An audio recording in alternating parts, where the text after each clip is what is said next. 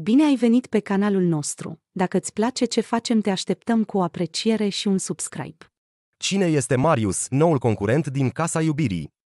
Cine sunt fetele pentru care a intrat în competiție? Îmi place să cuceresc. Luni, în cea mai recentă ediție a emisiunii matrimoniale Casa Iubirii, un nou concurent a venit să-și găsească sufletul pereche. Marius este noul concurent care a pășit în Casa Iubirii. Marius este noul concurent care a intrat în cursa pentru dragostea unei fete din Casa Iubirii. Își dorește o femeie puternică alături de care să poată depăși orice obstacol. De cum a intrat în casa fetelor, tânărul a oferit câte un trandafir fiecărei fete și s-a asigurat că le salută pe toate. Marius vine din Craiova, are 23 de ani și este pasionat de fotbal și muzică. A jucat fotbal de performanță timp de 13 ani, dar a trebuit să renunțe deoarece s-a accidentat. Totuși, s-a reinventat și a urmat niște cursuri de hairstyle, ba chiar a învățat să cânte la saxofon.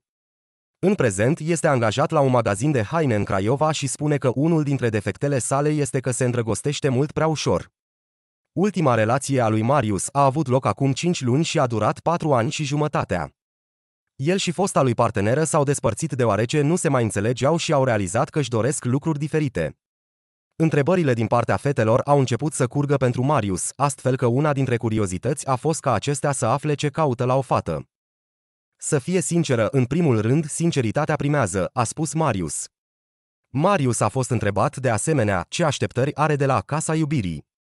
Să mă îndrăgostesc, să simt ceva, a spus Marius. Cine sunt fetele pentru care a venit Marius? Marius nu a venit nehotărât, ba chiar are un top 3 concurente pe care le place. Este vorba despre Larisa, Bianca și Ștefania.